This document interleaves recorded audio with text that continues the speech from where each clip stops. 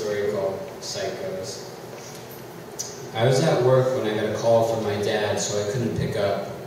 While waiting to see if he would leave a voicemail, I looked across the hall, over my coworker's shoulder, through an empty office, and out a window. The weather was bright, almost washed out, and I could see a large American flag doing the boogie in the wind. I'm going to take a break, I told a coworker as I began to put my jacket on. Outside, I walked past the huddled group of Russian smokers. The Russians worked for the U.S. outpost of some Slavic software company on the fourth floor of my building. They migrated around the financial district in packs, looking serious and starved of natural light. Near a jagged and abstract fountain, I listened to my dad's voicemail. Well, she found out, he began, and then continued swiftly. I'll beat you to the punch by admitting that I'm a dumb motherfucker, and yes, she screamed and hit me before finally making some sense and saying she wants a divorce.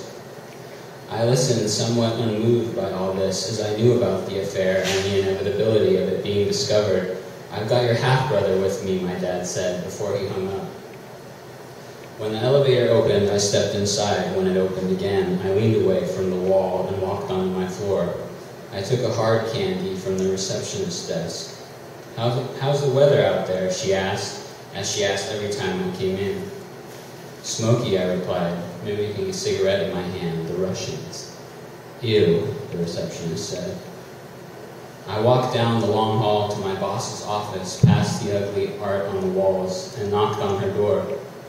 I just got a call from my dad. I guess there's a family emergency.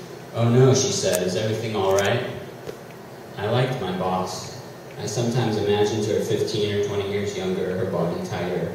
I did this because I only had to work 60% of the time I was at my job to accomplish my responsibilities.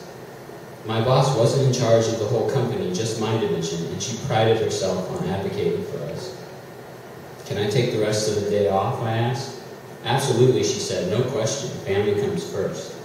Her face was attractive when she looked concerned. It forced the muscles to flex and lift.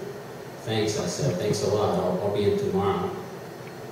Someone had broken into my car a couple weeks ago and stolen my stereo. They must have been idiots or fetishists because I only had a tape deck and I could not believe that demand on the black market was high for this kind of outdated technology. I didn't feel much like talking to anyone on the way down, so I turned my cell phone off, entered the freeway, and drove for two hours in silence. Well, actually, I said Jesus a couple times, but only because there were so many bad drivers on the 101 this afternoon. Nearing my dad's house, I began to smell smoke. He and my stepmother and my half-siblings lived near the top of a small rural canyon along the central coast of California. It was autumn, and the smell of seasonal burn fit with the cool, crisp weather. Even though I had never had one, a vision of a Starbucks pumpkin spice latte appeared in my mind as they had recently stepped up their advertising campaign in the subway tunnels that I used to commute to work. I climbed slowly on the black, narrow road. Through a forest of familiar live oaks, the house soon came into view. My dad was in the driveway, pushing an old hutch that had once been in the living room into a growing bonfire. I slowed down, and from an open second floor window, I saw my half brother. He whistled at my dad and then held up two books. After quickly evaluating them, my dad gave a thumbs down, and my half brother dropped the books into the fire below. I parked the car on the street and walked up the driveway. Through the bright flames, I could see the frame of a couch sitting under a bunch of burning clothes and my dad's old skis. What the hell is this? I asked, squinting my eyes from the smoke. Fresh start, my dad said. Hey, you made good time. You think your wife is going to approve? I asked. Ex-wife, he corrected. Well, soon to be anyway. I'm just burning my stuff. I'm just fucking cleansing myself of worldly possessions. I'm just better off this way. Simplicity is my new mantra. My half-brother jogged out of the wide open front door and said hey to me. He was 11 and already looked a lot like my dad, which meant he looked nothing like me. He put his arm around my waist and in a concerned voice asked, How are you doing with all of this? I laughed and then put my arm around his shoulder. I was 15 years older than him. I'm supposed to be asking you that, I said. I'm like an old pro at this kind of thing. He said. But thanks. I appreciate your concern. I'm doing well. Whose idea was the fire? Dad's, of course, my half-brother said. He's a total pyro. Well, don't just stand there, my dad then yelled. to us. Help me out. I'll be back in a sec, I said, and walked to the street in my car. In the trunk, I had a gift from my half-brother that I had been meaning to give him. When I returned to the fire, my dad was sorting through a dusty cardboard box, adding piles of yellowing paper to the blaze. Do you need a permit for this kind of thing? I asked him, glancing at the neighbors' houses. I don't fucking know, he said, and he looked up at me. At that moment, he appeared both young and old. His hair was more gray than the last time I had seen him, but the bewildered look he displayed was that of a confused boy. My half-brother walked up to us. Uh, well, this is interesting, he said in a sensitive but also slightly sarcastic voice. I could tell that he had only a very small idea of what was going on. Here you go, psycho, I said, handing my half-brother a sweatshirt I had bought him. What, my dad said? He was looking away, restraining to hear.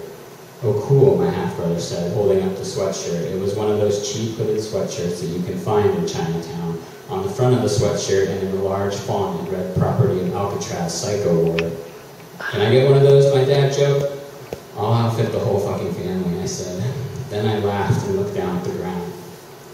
Shit, excellent, my dad said. Hey, the rest of this box is pictures from my first wedding. You should keep it. Your mom looked beautiful. Okay, I said.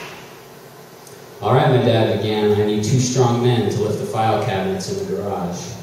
My dad's file cabinets contained a wide variety of information and knowledge from throughout the ages, everything from old bills to articles on faraway places he wanted to travel, to small, wallet-sized school pictures I would send him when he was living on the other side of the country.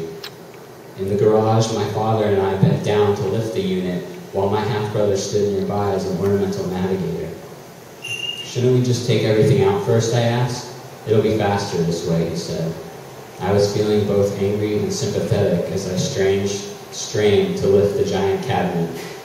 Fuck, my dad and I both exhaled. I realized that we were and would always be related. As we inched our way out of the garage and towards the bonfire on the driveway, I could hear the sound of a fire engine. Uh-oh, my half-brother said. Dad.